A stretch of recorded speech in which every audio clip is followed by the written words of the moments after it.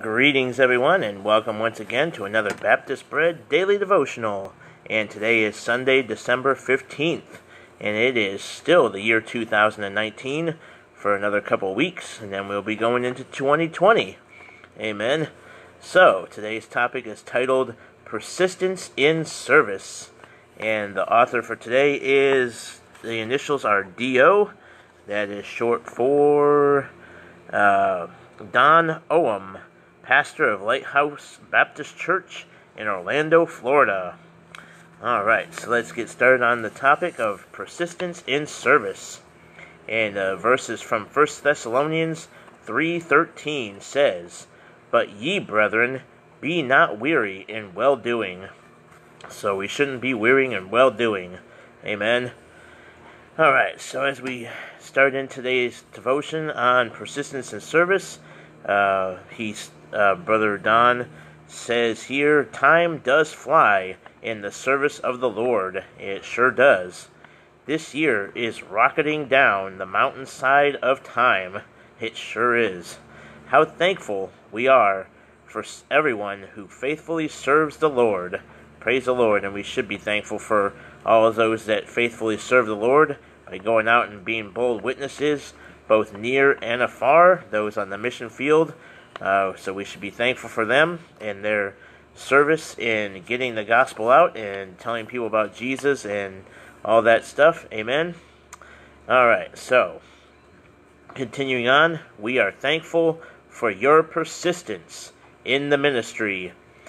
It is a costly investment, no question about, about it, but the, uh, dividends are so much greater than the outlay.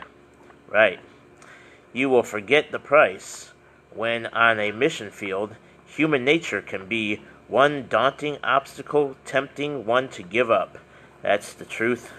so uh, we should be praying for those that they don't give up because you get on the mission field and there might not be any other people around you that are believers to fellowship with, and you might get discouraged and want to give up. But you got to keep going, and eventually uh, you will find other believers to fellowship with and get uh, people to come to Jesus. And then, uh, so we should be praying for those that are out on the mission field and pray that the Lord will continue to guide them and direct them and that they won't uh, be tempted to give up. Amen. So again, he says, when on the on a mission field, human nature can be one daunting obstacle, tempting one to give up. Uh, we can all bring to mind experiences with those few people who major, uh, whose major role in life is to encourage others to throw in the towel. So let's not be one of those people that uh, try to tell somebody to throw in the towel because just because you might not be uh, doing what somebody else is doing and you try to encourage or discourage them from uh, going on the mission field just because uh, you're not able to, you should be encouraging them. I know that we uh, have to prepare and get ready and and uh, raise support and all that stuff and have to be prepared for all that. But you shouldn't be somebody that goes and goes around and saying, "Hey, you shouldn't go out there. You shouldn't go tell people about Jesus out there. Stay here. Stay here. Just do whatever. Just uh, you know, how you gonna, you know, support yourself? How you gonna do this? Well, you got a plan, yeah, you got a plan, but you can't be one of those that uh, that uh, encourages others to throw in the towel because we shouldn't be like that. Amen. So we should encourage people to keep going and to support them. Amen. Instead of discouraging them. So let's not be one of those people. And hope you're not one of those people watching this video right now. All right, so he says here, uh, he says, recently I spoke with a missionary who arrived on his field of calling over 30 years ago. As we spoke, he recalled his experience of missions. For the first three years, he and another missionary daily visited their community and eventually passed out over one million tracts. Yet, in those three fledging uh, years, not one response, nor one decision for Christ occurred. That is persistence in the face of silence. Now, thirty some years later, his efforts are being rewarded. souls are coming to Christ and li- lives are being changed by the gospel. Amen. Many of us have gone through the long, lonely hours away from the applause or even the awareness of the public. Nevertheless, you are serving and witnessing for the glory of God. Right, so let us remember this for the glory of God. It is not a waste. No, it's not. So if somebody tells you it's a waste of time to go to a certain area, saying, well, I wouldn't go there, well, then don't go there. Let me go there. Let that other person go there. If you don't want to go there, don't try to discourage somebody from going there that wants to go there. Like, say, if you want to go to Guyana, or if you want to go to the Philippines, or if you want to go to Germany, or if you want to go to London, or wherever you want to go start a mission work, don't don't be that one that tells them saying, "Well, I wouldn't go there, and you shouldn't go there either because it's too hot. I wouldn't go where somewhere it's too hot."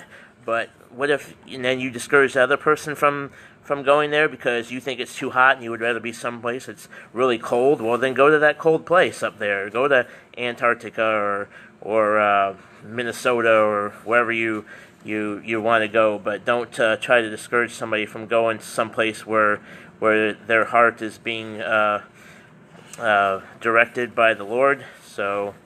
Um, so don't don't be a discouragement to somebody. So just because you don't want to go to that certain place, don't be telling somebody, well, why would you want to go there? It's so hot. It's so muggy. It's so rainy. It's so blah, blah, blah, blah, blah. Well, if you don't want to go out in the middle of the jungle, then don't go.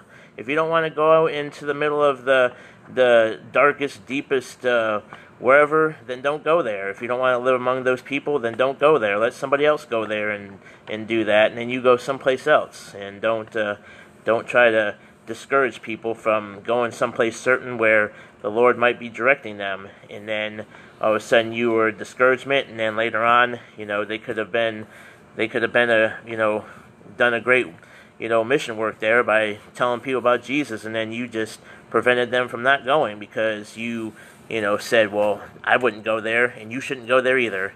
So we shouldn't be like that. We should be like, oh yeah, well you know, make sure you do it the right way. You know, make sure you go and get the support you need and pray and you know and and uh, be an encouragement to somebody that wants to go to a certain place and be a missionary in a certain area. And you can even be a missionary in your own town or in your own neighborhood.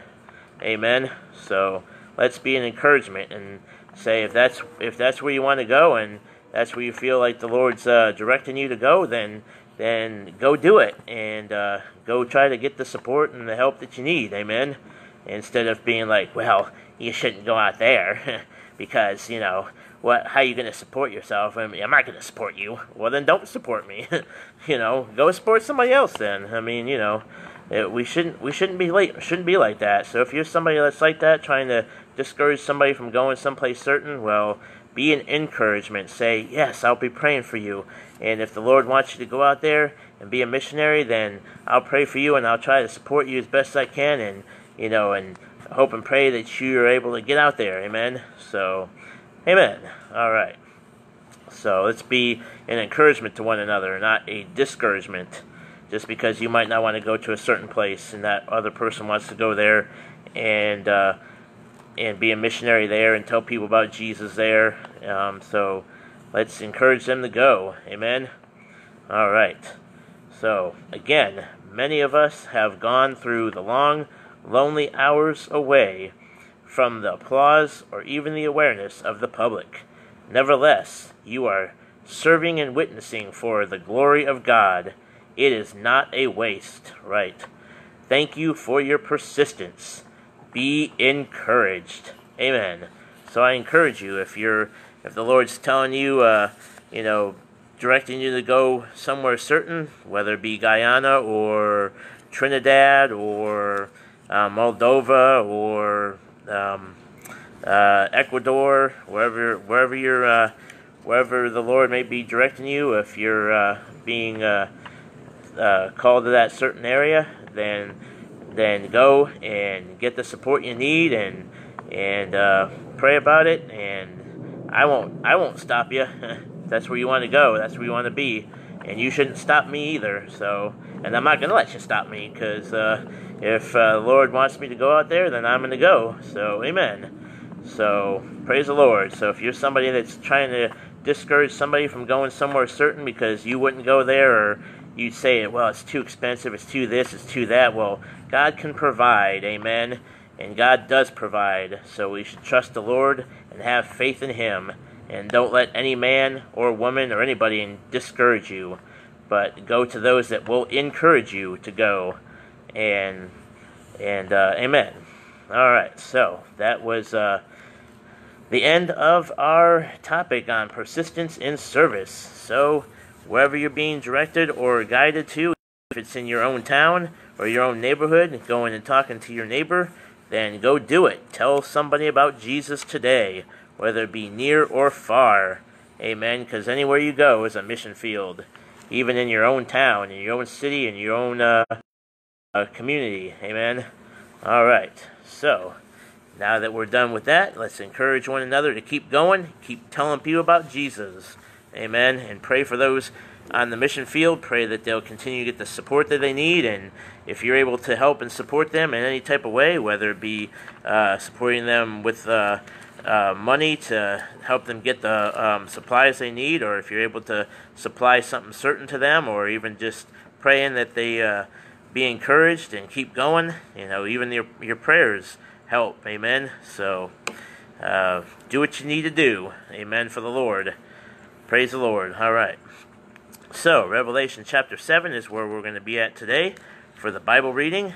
So, if you'll turn with me to Revelation chapter 7. All right. So, let's see. Uh, make sure here. All right. Chapter 7 and verse 1 says, And after these things, I saw four angels standing on the four corners of the earth, holding the four winds of the earth, that the wind should not blow on the earth, nor on the sea, nor on any tree. And I saw another angel ascending from the east, having the seal of the living God, and he cried with a loud voice to the four angels, uh, to whom it was given to hurt the earth and the sea, saying, Hurt not the earth, neither the sea, nor the trees, till we have sealed the servants of our God in their foreheads. And I heard the number of them which were sealed, and there were sealed an hundred and forty and four thousand of all the tribes of the children of Israel. You hear that? That's the tribes of the children of Israel. So um, that's Israel that uh, that are being given the seal. Amen of the tribe of Judah, there uh, of Judah were sealed twelve thousand. Of the tribe of Reuben were sealed twelve thousand. Of the tribe of Gad were sealed twelve thousand. Of the tribe of Asher were sealed twelve thousand. Of the tribe of Neph- uh, Neph- Nephilim uh, were sealed twelve thousand. Of the tribe of Manasseh were sealed twelve thousand. Of the tribe of Simeon were sealed 12,000. Of the tribe of Levi were sealed 12,000. Of the tribe of Issachar were sealed 12,000. Of the tribe of Zebulun were sealed 12,000. Of the tribe of Joseph were sealed 12,000. Of the tribe of Benjamin were sealed 12,000. After this I beheld, and lo, a great multitude, which no man could number, or of all nations, and kindreds, and people, and tongues, stood before the throne and before the Lamb, clothed with white robes and palms in their hands, and cried with a loud voice, saying, Salvation to our God, which sitteth upon the throne, and unto the Lamb. And all the angels stood round about the throne, and about uh, the elders, and the four beasts, and fell before the throne on their faces, and worshipped God not not worship the man, but worshipped God. Amen. Saying Amen. Blessing and glory and wisdom and thanksgiving and honor and power and might be unto our God forever and ever. Amen. And one of the elders answered, saying unto me, What are these th- uh, these which are arrayed in white robes, and whence came they? And I said unto him, Sir, thou knowest. And he said uh, to me, these are they which came out of great tribulation, and have washed their robes, and made them white in the blood of the Lamb. Therefore are they before the throne of God, and serve him day and night in his temple. And he that sitteth on the throne shall dwell among them. They shall hunger no more, neither thirst any more, neither shall the sun light on them, uh, neither shall the sun light on them, nor any heat. For the Lamb, which is, shall feed them, and shall lead them unto living fountains of waters, and God shall wipe away all tears from their eyes. Amen. So, that is Revelation chapter 7 for the reading. And we just got done talking about persistence in service. So, keep being persistent in the ministry. Amen. And uh, we thank you for your persistence. So, be encouraged. And let's go and encourage others and pray for those on the mission field, both near and far. Amen. All right. So, that will be the end of today's devotional and Bible reading. So, if you have not put your faith and trust in Jesus Christ, today is the day to do so. That is the first thing you need to do, and He will save your soul, and then afterwards, He will show you how to live a Christ like life while you're on this earth, and what to do and what not to do, and how not to uh, keep letting the flesh rule over you, but let the Spirit rule over you once you're saved. Amen. So, hope that's encouragement to you. And so I'll be wrapping it up, and tomorrow's topic will be titled Follow Me. Follow Me. Amen. And uh, we should follow the Lord. All right. So, and then the Bible reading will be from Revelation chapter 8. So, I hope you'll join me tomorrow for that. Until next time, this is Brother Scott signing off. May the Lord richly bless you, and you all have a great and wonderful rest of your Sunday. Amen.